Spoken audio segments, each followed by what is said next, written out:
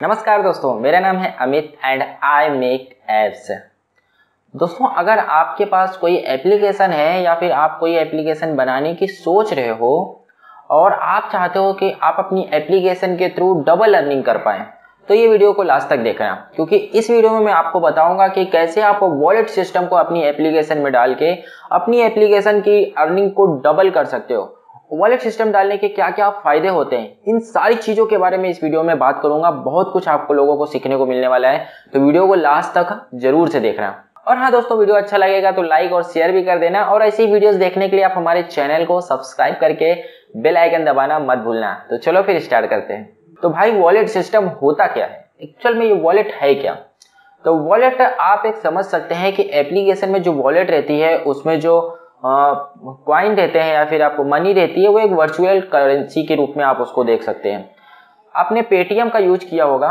Paytm में पहले क्या होता था कि आप उसमें अपने बैंक से उसमें पैसे ऐड करते थे वॉलेट में ओके देन उस वॉलेट मनी को फिर आप यूज़ कर पाते थे दूसरी चीज़ों में ओके उसको ट्रांसफ़र कर पाते थे, उससे प्रोडक्ट खरीद पाते थे। तो सेम उसी तरीके से आप कॉन्सेप्ट समझ सकते हैं इसमें भी। तो आप भी अपने एप्लीकेशन में ऐसा फीचर डाल सकते हैं कि जिससे कि यूज़र अपनी वॉलेट में मनी ऐड कर सके ओके तो एक तो तरीका होता है कि वॉलेट में मनी आप बैंक के थ्रू ऐड कर सकता है वो ओके तो लेकिन most of the cases user ऐसा नहीं करते मतलब यूज़र ऐसा प्रेफर करना पसंद नहीं करते, क्योंकि क्यों वो बैंक से वॉलेट में मनी ऐड करेंगे ओके बेवजह। हालाँकि अगर वो वॉलेट में मनी ऐड कर देंगे, फिर उसको फिर से बैंक में ट्रांसफ़र करना होगा मतलब बिकॉज़ ऑफ़ सम रीजन से वो ऐसा नहीं करेंगे ओके तो उनके वॉलेट में मनी आएगी कैसे और वो यूज़ कर कैसे पाएँगे और इससे आपको बेनिफिट कैसे होगा ओके तो इस प्रोसेस को हम देख लेते हैं। देखो यूज़र के मोबाइल फ़ोन में जो एप्लीकेशन है आपकी, उसमें वॉलेट का सिस्टम है। अब उसमें मनी ऐड कैसे होगी? उसके लिए आप यूज़र को तरह तरह के रास्ते दे सकते हो तरह तरह से रास्ते दे सकते हो।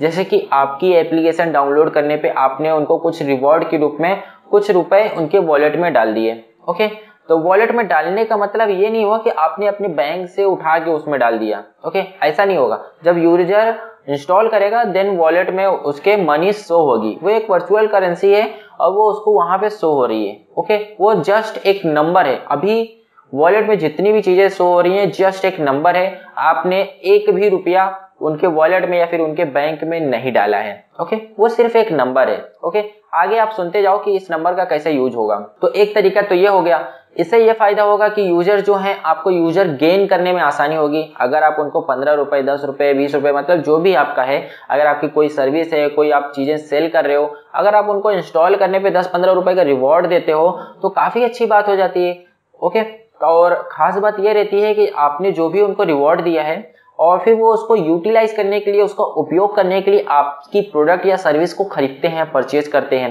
ओके मान लो कि मेरे पास, मेरी एप्लीकेशन में एक दो सौ रुपए का प्रोडक्ट है जो कि मैं अपनी एप्लीकेशन में सेल कर रहा हूँ। ओके और मैंने क्या किया? यूज़र को बीस रुपए इंस्टॉल करने पे दे दिया। ओके जब यूज़र मेरी एप्लीकेशन डाउनलोड किया तो मैंने उसको बीस रुपए रिवॉर्ड के रूप में दे दिया। इससे यूज़र भी खुश हो गया। ओके और फिर उसने क्या किया?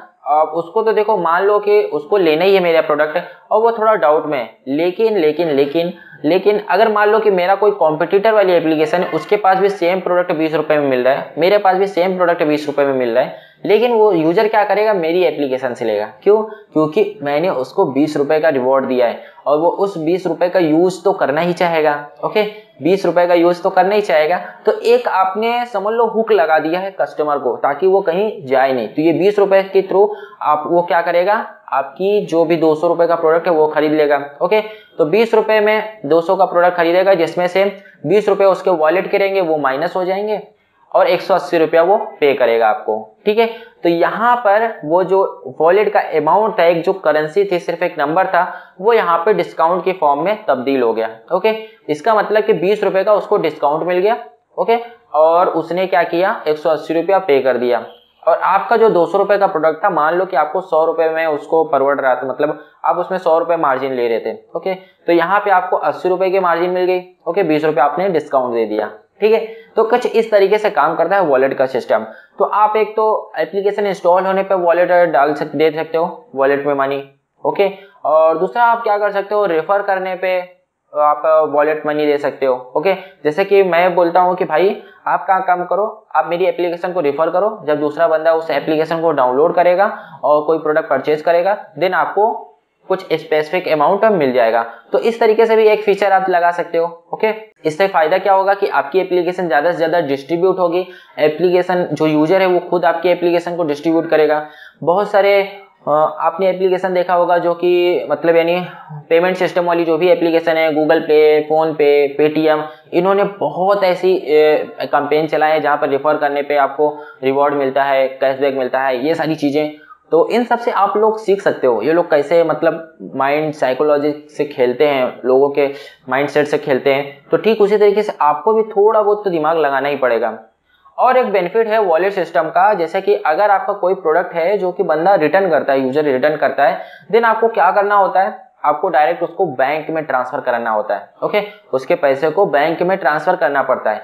तो सम टाइम थोड़ा सा डिफ़िकल्ट भी हो जाता है और थोड़ा मज़ा भी नहीं आता है यार, अपने पास पैसा आ गया, फिर से उसको ट्रांसफ़र करो। तो इसका एक तोड़ है वॉलेट सिस्टम आप क्या कर सकते हैं? आप वॉलेट में उसकी मनी को ऐड कर दीजिए। जैसे कि किसी बंदे ने आपसे दो सौ रुपए का प्रोडक्ट खरीदा और आपने उसको क्या किया है seven days money back guarantee दी है ओके सात दिन में आपका पैसा रिटर्न हो जाएगा अगर आपको प्रोडक्ट पसंद नहीं आता है तो। तो जब वो बंदा रिटर्न करता है प्रोडक्ट तो आपने क्या किया? दो सौ उसके वॉलेट में ऐड कर दिए। तो वॉलेट में ऐड किए मतलब कि आपने बैंक से ट्रांसफ़र नहीं किया आपने सिर्फ़ उसके वॉलेट में दो सौ का एक अमाउंट ऐड कर दिया। एक सिर्फ़ एक नंबर है ओके उस दो सौ को वो क्या करेगा? समटाइम कभी भी कोई प्रोडक्ट परचेज करते रहेगा तो यूज़ कर लेगा ओके तो इससे क्या होगा? जो आपके पास सेल आई है वो जाएगी नहीं, बस वो क्या रहेगा कि कभी दूसरे टाइम पे किसी दूसरी प्रोडक्ट में वो यूज़ हो जाएगा ओके तो ये सारे कुछ बेनिफिट्स हैं जो कि वॉलेट सिस्टम के थ्रू आप अपनी एप्लीकेशन में लगा सकते हैं और अपनी एप्लीकेशन के थ्रू ज़्यादा से ज़्यादा अर्निंग कर सकते हैं। ऐसे बहुत सारी कंपनीज़ है जो कि वॉलेट सिस्टम का यूज़ करती हैं। आपने देखा होगा वॉलेट सिस्टम रहता ही है और ई कॉमर्स एप्लीकेशन में रहता है ग्रोसरी टाइप के एप्लीकेशन में रहता है ओ टी प्लेटफॉर्म में रहता है ओके और इस टाइप के बहुत सारी एप्लीकेशन है तो जिसमें वॉलेट सिस्टम रहता ही रहता है। तो आप भी अपने एप्लीकेशन में वॉलेट सिस्टम लगवाइए और अपनी एप्लीकेशन के थ्रू ज़्यादा से ज़्यादा अर्निंग कीजिए। और दोस्तों, आपको कोई एप्लीकेशन बनानी है तो आप मुझसे भी कांटेक्ट कर सकते हैं। ये मेरा व्हाट्सअप नंबर है। तो बस दोस्तों, फ़िलहाल के लिए इस वीडियो में इतना ही। वीडियो देखने के लिए आपका बहुत बहुत धन्यवाद। वीडियो अच्छा लगा है तो लाइक करो शेयर करो और ऐसी वीडियोस देखने के लिए आप हमारे चैनल को सब्सक्राइब करके बेल आइकन दबाना मत भूलना। तो चलिए फिर मिलते हैं अगले और इंटरेस्टिंग वीडियो में। तब तक के लिए आप अपना ध्यान रखो। Good day and take care